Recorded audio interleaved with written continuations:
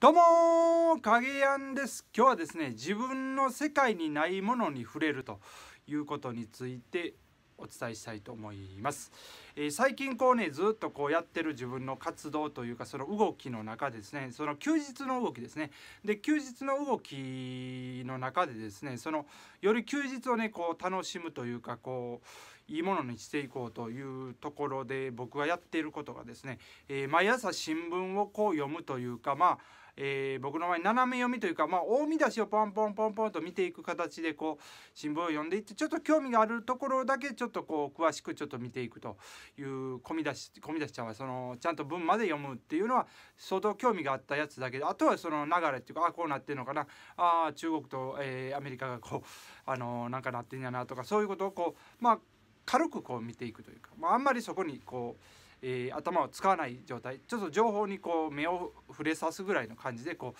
新聞を読んでいくというところなんですね。ほんでそれをやっていくんですけどもしっかりねある程度ちょ、あのー、注目してみるところがね、えー、滋賀版ですね。えー、地方の、えー、記事が書いてあるところですね。で僕は滋賀県に住んでるんで滋賀版のところをこう読むということをこうしています。でなぜ読むかというとその滋賀県で何が起きてるかっていうことを見るっていうことよりもですねそのあまあそれもあるんですけどもその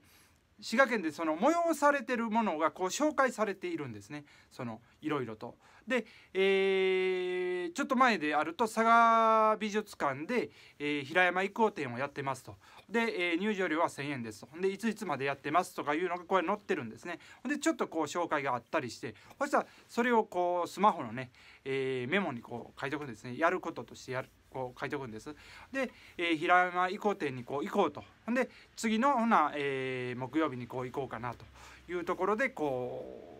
予定を入れてしまってですねほんでで、えー、まあ、2時ぐらい、まあ、昼ご飯食べてから行くようにするということでもう、えー、その1,000円を用意してですね行くようにすると。いうふうにしてですねやっていく。ほんで前で言うとその立東のね、えー、歴史民族博物館っていうのがあってそんなん知らなかったんですけどもそれがこう、えー、滋賀版のところに載っていてですね、えー、入場料無料入館料がね無料でこうそういう神仏祈りの輝きという、え栗田軍あ立東のことですけど栗田軍の神仏祈りの輝きということでその、えー、そういう催し物がやってたと。で無料でやってるんやったらほな見に行こうと。ほな次の、えー、休日に見に行くとこう予定にこうもう入れてしますあのカレンダーにねもう入れてしまうんですけどもでそういうことをこうしていると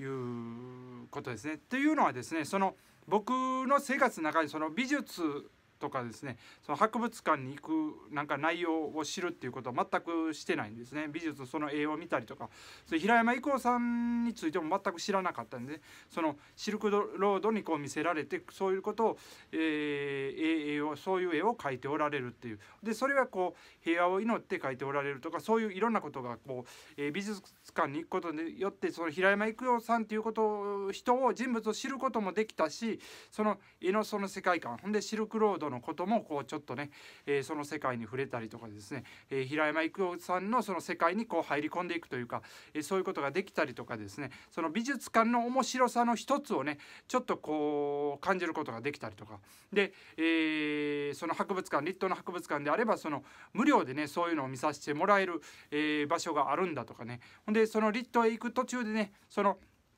1号線沿いじゃないんでねちょっと入ったところに博物館があるんでですねその、えー、リットの街並みにこう溶け込んだそのお店のねその面白さ、えー、リットのその街並みの面白さっていうのをこう感じることができたりとか、えー、そういうことっていうのはその自分の仕事をしているその世界の中自分の自分の世界の中にはないものなんですよね。でそういうものにこう触れていくというか、えー、そういうことをこう積極的にしていこうと。であのー、そういう新聞ではねそういうのをこう載せてくれてるわけですよね。でそういうのをやってますってわざわざ教えてくれてるこれはもう行くしかないとほんで滋賀県に住んでるんだからこう行く行くやろうとでそれをこうまたあの自分のまあまああのブログに書いたりとかもできますしいろんなことがこうできるというところがあるんでですねそのその新しい世界というか自分にないものですね自分のその行動範囲ではないものにこう触れていくっていうのがねこう面白いなと。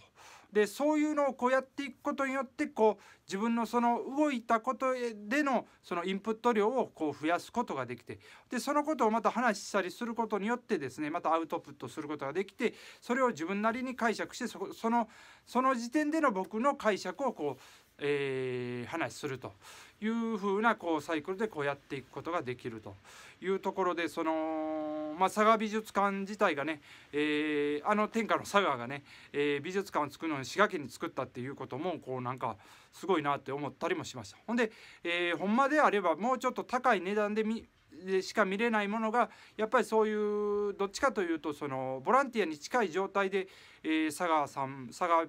佐賀急便がやってるものやと思うんですよね。そのそれをこう返してはるっていうかその貢献してはるような感じやと思うんです。だから1,000円で見れるんじゃないかなというふうなことをこう思ったりしてですね、うん、そういうやっぱりそのこう大きい会社っていうかそういうのはそういう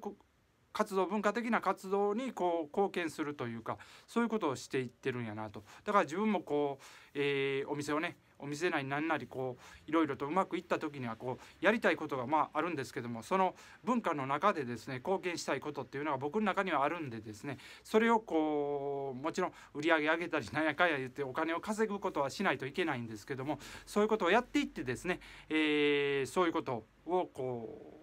ちゃんと貢献する形をこう証明していく、えー、ことをしていきたいなというふうに考えております。であのそういうやっぱ自分の世界にないものにね触れるっていうことがこうやっぱり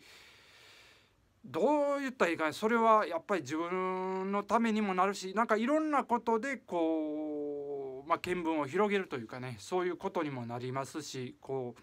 うん、で新聞をねやっぱりそのネットのねニュースだけやとそういうことってなかなか拾いにくいとは思うんです。まあまあ地域のとこを見てそうやって見ていけばまあ見れるんでしょうけども、えー、新聞であればそこでこうおすすめしたいものがこうバッと出てきてるんでですね。